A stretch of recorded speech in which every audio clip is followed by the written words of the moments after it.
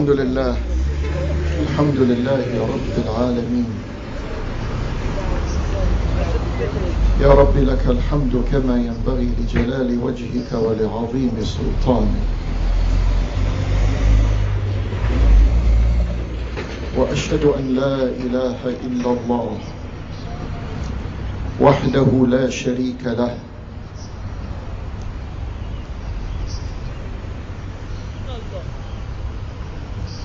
وهو الذي في السماء رب وإله يعبد ويطاع. وفي الأرض رب وإله يعبد ويطاع. وأشهد أن سيدنا وحبيبنا ومولانا محمدا صلى الله عليه وآله وسلم عبد الله ورسوله وصفيه وخليله.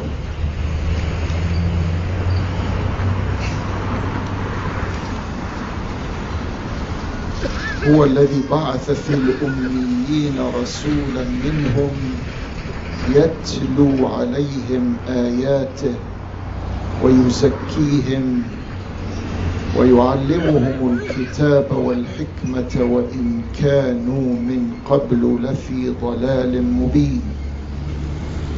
وآخرين منهم لما يلحقوا بهم وهو العزيز الحكيم. ذلك فضل الله يؤتيه من يشاء. والله ذو الفضل العظيم.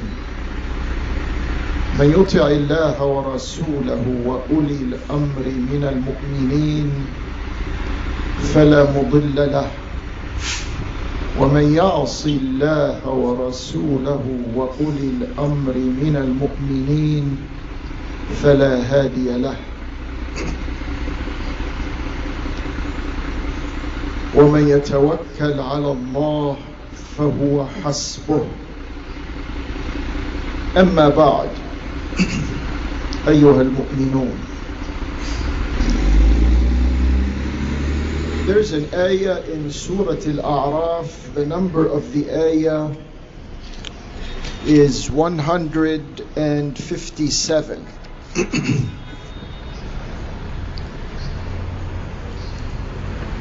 I will read the ayah and then I will zero in on the portion of the ayah that becomes the pivot of the khutbah. The ayah begins الذين يتبعون الرسول النبي الأمي الذي يجدونه مكتوبا عندهم في التوراة والإنجيل. يأمرهم بالمعروف وينهاهم عن المنكر. ويحل لهم الطيبات ويحرم عليهم الخبائث. ويضع. This is the part of the ayah that I want you to listen to closely. ويضع عنهم إصرهم والأغلال التي كانت عليهم. فالذين آمنوا به وعزروه ونصروه واتبعوا النور الذي أنزل معه أولئك هم المفلحون This ayah to begin with is speaking to the condition in specifically to the condition of Bani Israel. Another way of explaining the history of Bani Israel is they are Muslims who went wrong. So we as Muslims can go wrong and therefore end up like Bani Israel. The ayah is saying, the part of the ayah that I want you to follow with me is وَيَضَعُ عَنْهُمْ إِصْرَهُمْ والأغلال التي كانت عليهم This, the Prophet of Allah subhanahu wa ta'ala, الذي يجدونه مكتوبا عندهم في التوراة والإنجيل, the one that they find quoted, mentioned in their Torah and in their Injil. He came to relieve them of the constrictions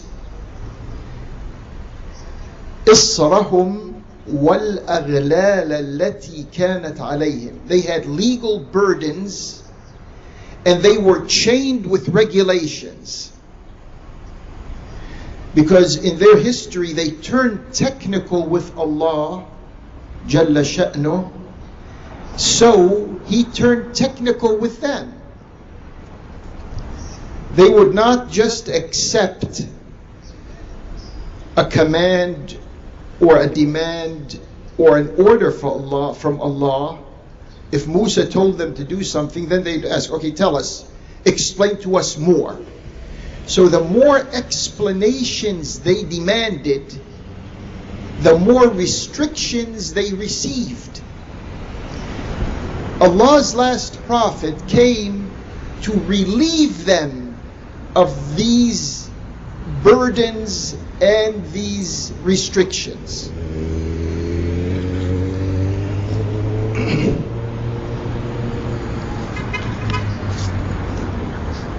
and we have the Quran, the Prophet, Islam, Iman, we have this as a relief from the burdens that they were in. What are the burdens that they were in? What are we speaking about when we speak about these restrictions and these very demanding tasks.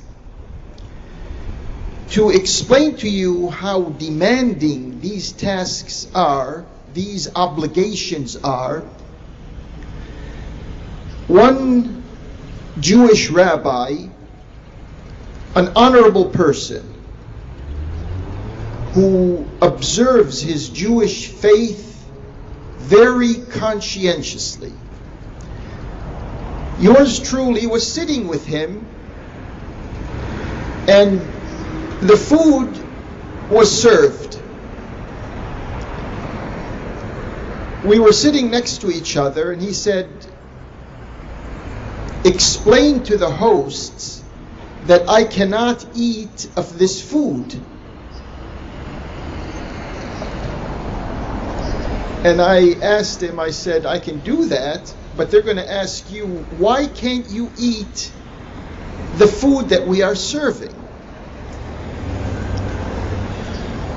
I understand that there are dietary regulations concerning the meat. But what about the bread and what about the fruits and vegetables and the other servings that are not meat? he said he still cannot eat those. And he explained why he cannot consume those edibles because they don't meet the strict dietary standards that he goes by. So we skip the details, and I realize of course, the interaction was going back and forth between the rabbi and some of his uh, some persons who were of the Jewish faith who were accompanying him, and the rest of the hosts and people around who were all Muslims.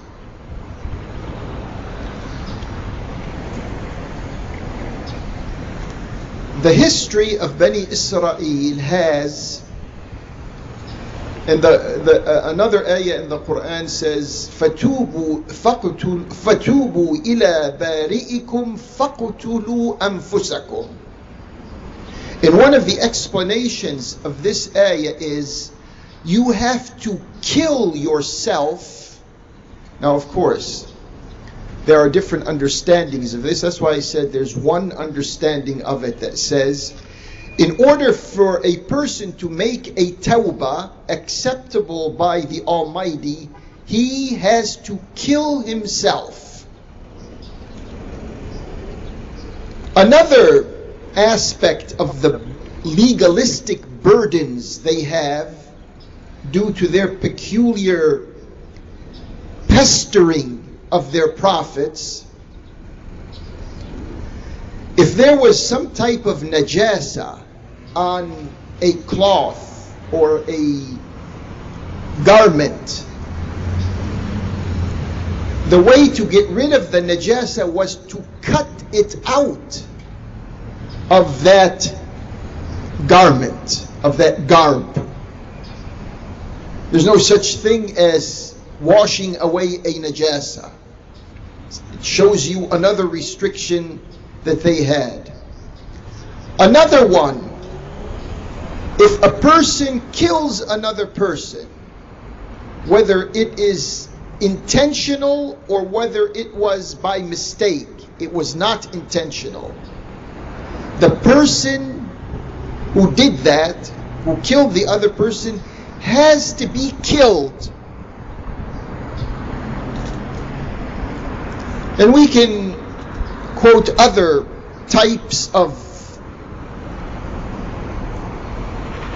burdens and chains that they are living in when they are in this world. It is so demanding that one of the rabbis said the reason we do not proselytize our religion is because we are confident that others cannot live according to these standards. That's how strict and that's how severe their lifestyle is. Now, this ayah in Surah Al-A'raf ليضع عنهم إصرهم والأغلال التي كانت عليهم so that this final prophet from Allah الذي يجدون يجدونه مكتوبا عندهم في التوراة والإنجيل came they and this is another point Muslims don't really present neither to themselves nor to the other the point is the Prophet of Allah is specifically mentioned in the Torah and in the Injil. So this Prophet came to relieve them of this type of constricted, almost phobic lifestyle. And now we have our Islam, a relief from the heavy weights of legalism. When the Prophet sent two of his companions to Al Yemen, he said to them, يسرا ولا تعسرا وبشرا ولا تنفرا وتطاوعا ولا تختلفا He says, present this relationship with Allah as being a relationship that is doable, not something that's going to break someone's back. Try your best to entice people to, to this Iman and Islam. And don't be repulsive. Don't have people run away from you. وبشرا ولا تنفرا وتطاوعا ولا تختلفا and be cooperative with each other don't be at odds with each other be like magnet and steel don't be like two magnets that repulse themselves from each other. Examples What do we have examples of this? The Prophet of Allah, I'm, I'm saying this, brothers and sisters, uh, you know, usually I try not to go into these types of details, but I'm doing this because this has become a matter of discussions in different communities and societies. When it comes to a salah, our salah is not a burdensome salah. The Prophet says, من نام عن صلاة أو نسيها فليصلها إذا ذكرها. Whoever sleeps and is not awake for a salah, even whoever forgets and cannot remember whether he prayed or she prayed or not, then when they wake up and if they remember, they perform the salah. There's no punishment for your human nature. At the time of fasting, the Prophet said, من نسي فأكل وشرب وهو صائم فليتم صيامه Whoever during the time, during the day of Ramadan, whoever forgot to or absent mindedly. What it means, whoever during the day of Ramadan, when you're fasting, if you absent mindedly drink something or eat something, you should continue your siyam. Because in the latter part of the hadith, the Prophet says, Allah wanted to feed you, or Allah wanted to offer you water. This is not the Israeli attitude. If something like that were to happen in the Israeli context, they would have to pay for that mistake. We don't consider it a mistake. During the Hajj, this is during the Prophet's time, during the Hajj, someone comes up to the Prophet and he says, Halaktu qabla an anhar. You know, it, when you go to Hajj or Umrah, you do certain things in a certain sequence. That's the way it's supposed to be done. But what if you do something before something else? In this case, this person is complaining that he shaved before he sacrificed the animal. And the Prophet responded to him, he says, If'al wala haraj. Do it. There's no problem.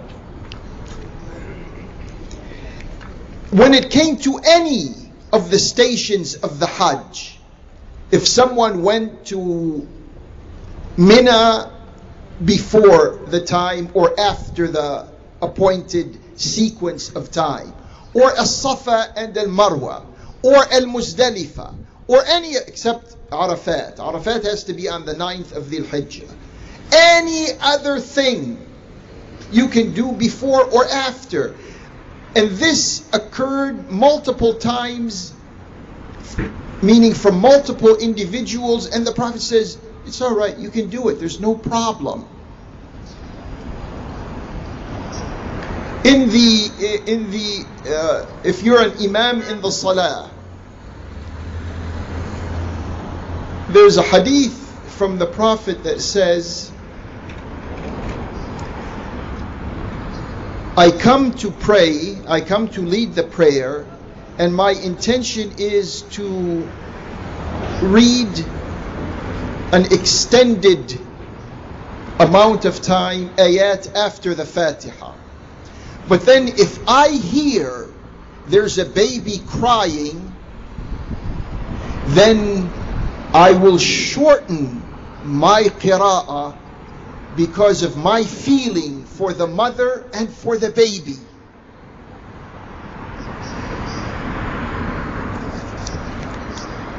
Compare that with what we have nowadays. The Prophet also, on one occasion, he advised one of his companions not to, when you lead the prayer, not to lead it with a, an extended qira'ah.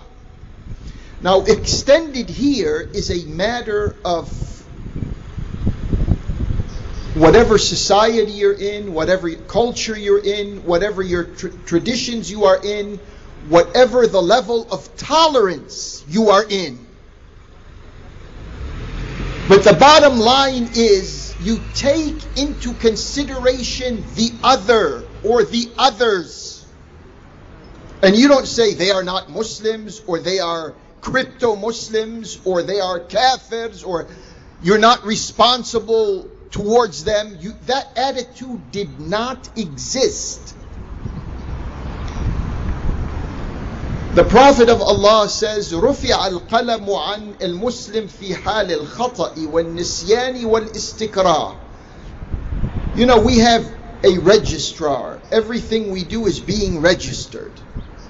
But he said that instrument of registering everything ceases in three conditions. One of them is al khata. You made a mistake. You made an honest mistake. And when we speak about an honest mistake here, it's not one of the kaba'ir. It's not a sin or a major sin. So when this is if this is going to be written against you as you would expect it to as Bani Israel would expect it to it's not. When nisyan also if you forget Allah is not going to take you to task for something you forgot. And al-istikrah someone is compelling you to do something. You're not responsible for that. So you're not responsible during three occasions in life an innocent mistake, when you forget, and when you're compelled to do, when you're forced to do something.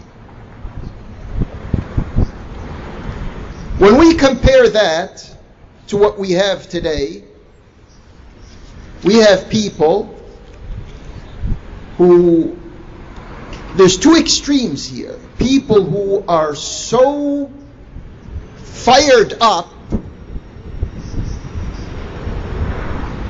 that their understanding of Islam becomes fanatic. And we have others, I'm talking about Muslims here, we have others who are reactive they are so fed up with fanaticism that they want to go to the other extreme and become liberals. These two attitudes, you can detect them in your local communities and you can detect them as far as cultures and traditions are concerned. Populations have this problem you you either become a fanatic, which is wrong, or you become loose, which is wrong.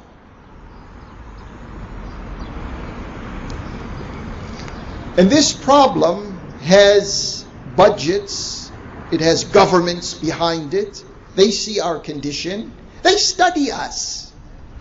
They know who cannot understand Islam in a balanced way as it was meant to be ما جعل عليكم في الدين من حرج طه ما أنزلنا عليك القرآن لتشقى Other ayat, other hadiths, all of them indicate, teach us not to become fanatics and not to become counter fanatics, meaning reacting to those who are fanatics. أقول قولي هذا وأستغفر الله لي ولكم ادعوه سبحانه وأنتم على يقين بالإجابة وتوبوا إلى الله. إن الله تواب رحيم.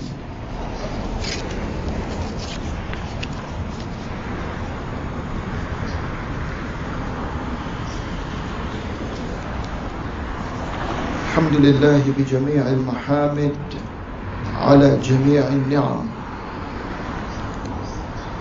وصلى الله وسلم على المبعوث خيرا ورحمة وهدى لكافة الأمم محمد النبي الأمي وعلى آله وصحبه وسلم Dear brothers and sisters, taking into consideration what was just expressed in the context of Allah's ayat and in the context of His Prophet's teachings, taking all of that into consideration, we focus our attention on what is happening in the land of the Prophet, in the birthplace of Islam. What is happening is something like a rapid change. Things are beginning to change there, unlike anything that has happened in previous years in that kingdom. You may say that they are suffering from an identity crisis.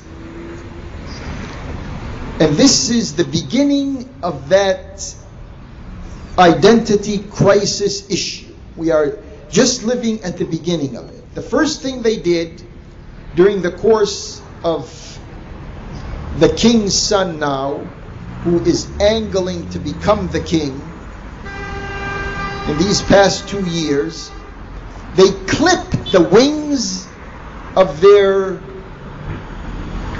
what they call Hayat al-Amr bil-Ma'ruf wa Nahi an al-Munkar. Other translators here in the West refer to it as the moral police.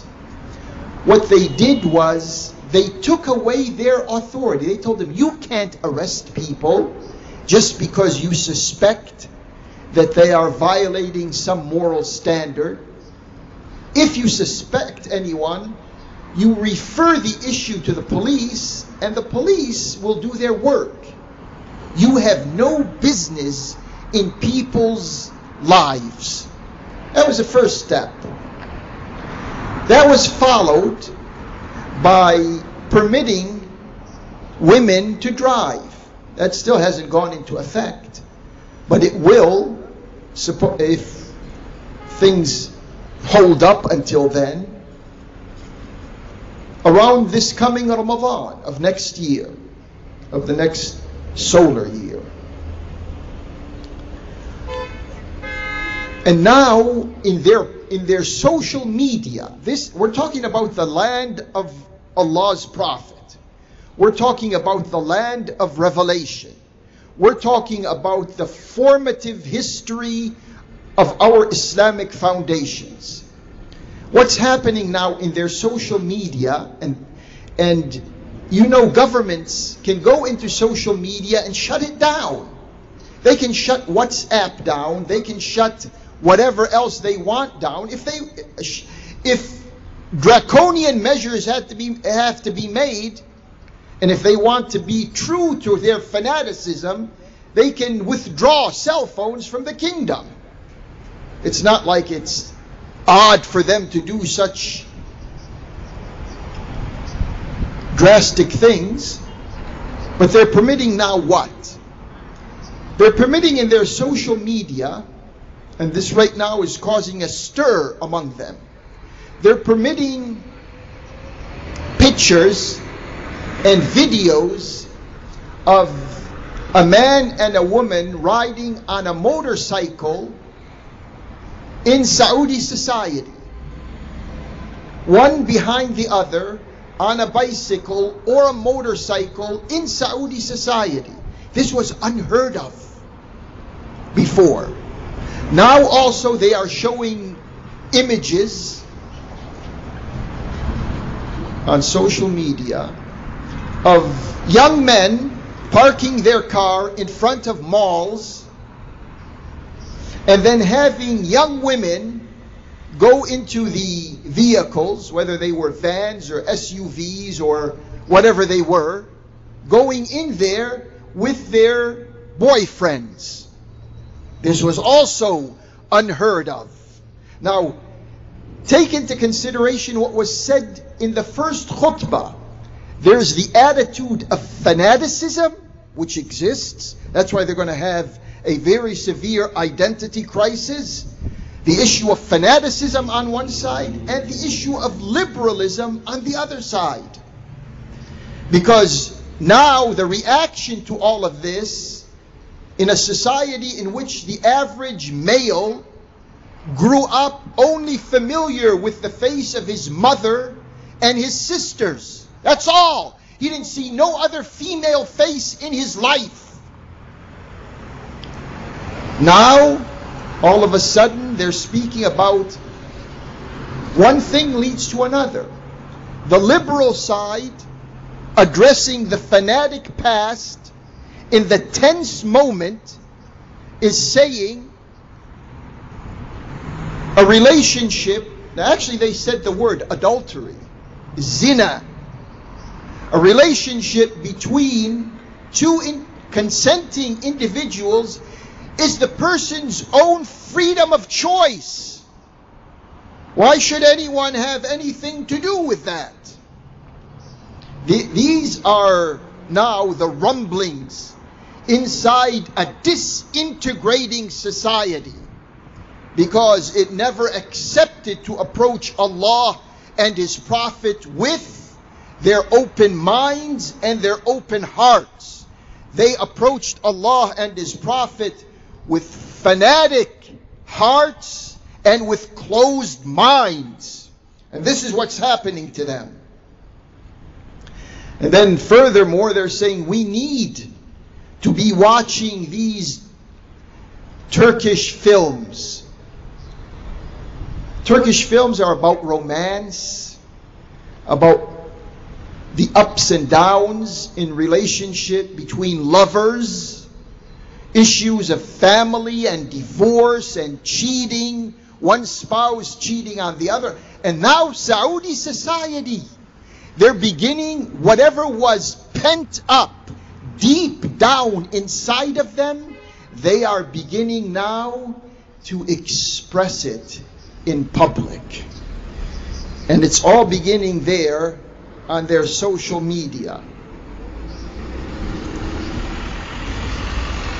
These developments at their psychological level and at their community level are taking place within a larger political context. We mentioned to, to you a couple of weeks ago that a very important Saudi figure went to the Yehudi enclave in occupied Palestine. Well, the Yehudis themselves came out just in the past day and they said, in fact, that person was Muhammad ibn Sulaiman, uh, ibn Salman, the king's son. That was him. So the conjecture about who that personality was, and all likelihood it was MBS, now that has been expressed in public in the in the media of the Hebrew press, in the Hebrew press, and in in some uh, some other parts of their media. What was he doing there? Of course, he's trying to bring relationships closer relationships between the ruling family in Arabia and the ruling tribe in Palestine. He's trying to bring them together. Why? What do they have in common? Ask yourself, what's in common between the fanatics of Arabia and the terrorists in Palestine, the Israeli regime? What do they have in common? They have one thing in common. They know some some go and pray in synagogues, others go and pray in masajid. Some call it uh, one side calls itself Jewish, the other side calls itself Muslim. But what's bringing them together? What's bringing them together is their common hostility towards Islamic Iran. That's what's bringing them together, nothing else. There used to be a Saudi ambassador in Iraq.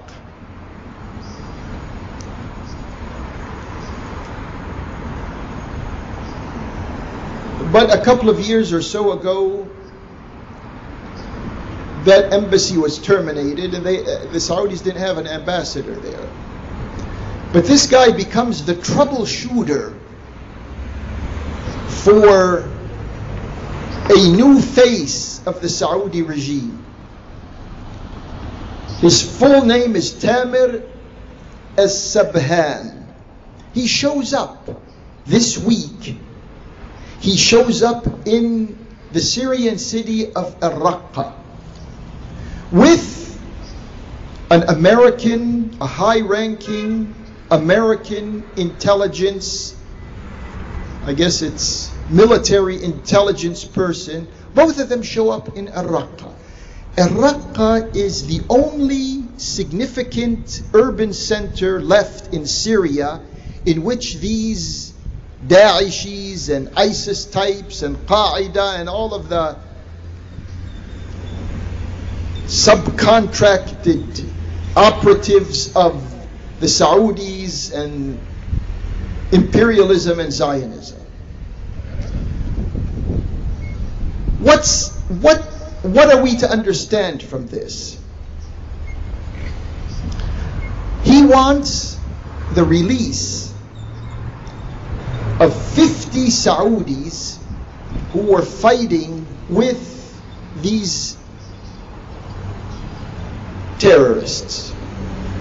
He wants the release of 50 of them at least. We have some type of information now. And he's not new. He's not he's not the only one. There are others coming from France and Britain and other places and even the US. They want the release because Al-Raqqa now is the gray area in which these operatives of imperialism and Zionism and Saudi flunkyism, they are there with what is called the Syrian Democratic Forces. This is the new wave of the coming future. The radicals and terrorists could not deliver. Now they are putting together another force that is supported by the Saudis. A previous Syrian opposition figure by the name of Ahmed al Jarba is in charge now of that force. And now they want to try to detangle their past from their future. The failing policies of the past have to be arrested and they they're trying to begin a new movement forward and all of this is why are they doing all of this? Why do we have all of these officials and military personnel going secretly and in front of cameras both ways? They're going to Raqqa because there's going to be a final showdown in that area the Syrian government now has retaken control of almost 90% of the areas that they, uh, or let's say 90% of all of Syria. Only about 10% left. So those policymakers in Riyadh, in Tel Aviv, and in Washington, among other places, they feel like their bet right now is on instead of the sectarianism, which didn't work, they wanted Shiites and Sunnis to kill each other, didn't work, even though there has been many miseries and many sad and tragic events that occurred in this past, but that grand scheme of igniting an all out Islamic civil war that will consume the Muslims for the coming generations, that did not work. This also means that the Saudis are trying to send signals to Turkey and to Iran that now we are supportive of a new democratic force in Syria and we are supportive of ethnic and national breakaway tendencies. Now, I could easily interject what I'm saying right now with ayat from the Quran and with hadiths from the Prophet, indicating that we should be acting as one body of people. What we are referring to here is our policies and strategies that mean to defeat the ayah واعتصموا بحبل الله جميعا ولا تفرقوا the hadith المؤمن أخو المؤمن and other many ayat and many hadiths so don't think we are here on some type of political tangent we're going off and just analyzing politics no we are saying what we are saying in the context of understanding Allah subhanahu wa ta'ala and his prophet sallallahu alayhi wa alihi wasallam. So the Syrian Democratic Forces and the Kurds now have become the new Trojan horse of imperialism and Zionism and their subcontractors in the Arabian Peninsula. The other development in all of this is they're trying to, they meaning these officials, civilian and military, who are going to Raqqa, are trying now to stir the latent feelings of Sunnis there. They still haven't given up 100%, but if they could, on the basis of, because over there there's a sense of tribalism, if they could bring some of these tribes together using ethnicism and sectarianism, why not? Also, the Saudi regime is signaling its endorsement of Trump. He's now virtually reneging on previous U.S. policies and agreements the JCPOA. You know, he's, uh, he's been speaking about that. Iran being the supporter of Islamic, uh, being the supporter of terrorism in the region and in the world. And the Saudis want to give the impression that they also want to rebuild a new Syria. What they're trying to say is the forces that we support, we are going to give them money and we want their areas to be prosperous compared to other areas in that general region. What should be mentioned also for your information is they've created, and created here it doesn't have a shari meaning, of course the Saudis created a special security and intelligence apparatus only for Muhammad ibn Salman. He has his own intelligence service that is, doesn't report to anyone else. And they overrule all other departments and functions of security and intelligence in that kingdom.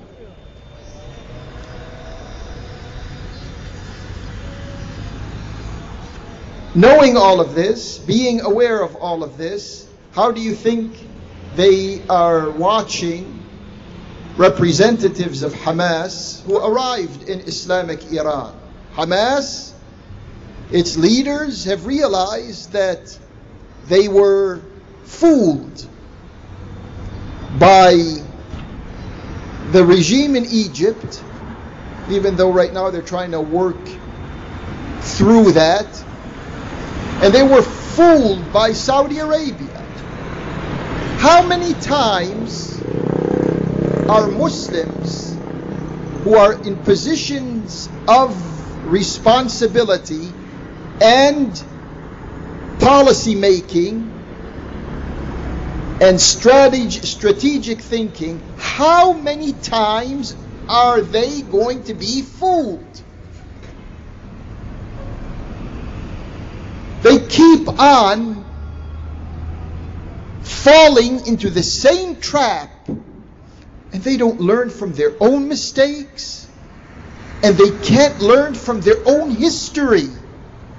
When is the time arriving when we will have mature, experienced, insightful, and struggling Muslims who can deal with reality given what they have?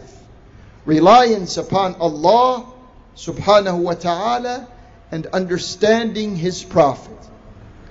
اللهم أرنا الحق حقا وارزقنا اتباعه. وأرنا الباطل باطلا وارزقنا اجتنابه. ولا تجعله ملتبسا علينا. واجعلنا للمتقين إماما. اللهم اهدنا فيمن هديت وعافنا فيمن عافيت وتولنا فيمن توليت وبارك لنا فيما أعطيت وقنا شر ما قضيت فإنك تقضي ولا يقضى عليك وإنه لا يذل من وليت ولا يعز من عاديت تباركت ربنا وتعاليت فلك الحمد على ما قضيت نستغفرك ونتوب إليك. وصلى الله على محمد وآل محمد. بسم الله الرحمن الرحيم. والعصر. إن الإنسان لفي خسر. إلا الذين آمنوا وعملوا الصالحات وتواصوا بالحق وتواصوا بالصبر. ومن اظلم ممن منع مساجد الله ان يذكر فيها اسمه وسعى في خرابها اولئك ما كان لهم ان يدخلوها الا خائفين لهم في الدنيا خزي ولهم في الاخره عذاب عظيم ان الله يامر بالعدل والاحسان وإيتاء ذي القربى وينهى عن الفحشاء والمنكر والبغي يعظكم لعلكم تذكرون ولذكر الله أكبر والله يعلم ما تصنعون وأقم الصلاة